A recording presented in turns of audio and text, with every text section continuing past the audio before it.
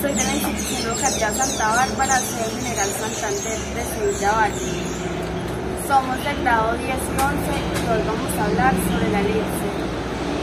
Definimos los ejes, este va a ser el eje X y este va a ser el eje Y. Usamos dos palos y una cuerda y la medida de la cuerda es 2A y por lo tanto la mitad de la cuerda es A. Ubicamos los palos en los focos y trazamos la elipse. Uno es foco prima y el otro es foco y procedemos a hacer la elipse.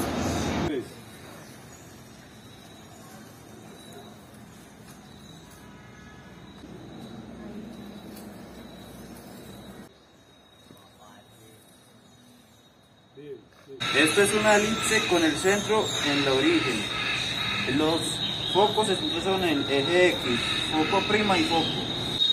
Acá tenemos la cuerda doble. Si la trasladamos para el otro vértice, da la medida de la cuerda que sería 2A.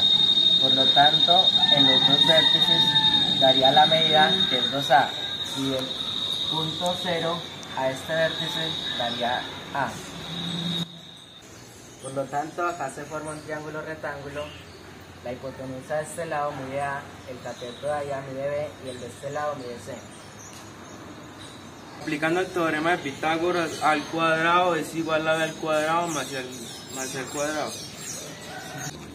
Al cuadrado es igual a b al cuadrado más c al cuadrado. Bien, en conclusión, una elipse es un conjunto de puntos ubicados en el plano cartesiano.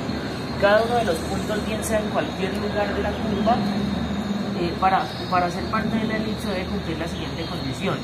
Que la distancia del punto al foco prima más la distancia del punto al foco sea igual a 2a, que es lo que mide en este caso la cuerda. La ecuación de la elipse es 1 igual a x al cuadrado sobre al cuadrado más y al cuadrado sobre b al cuadrado. Bien, esto ha sido todo por hoy.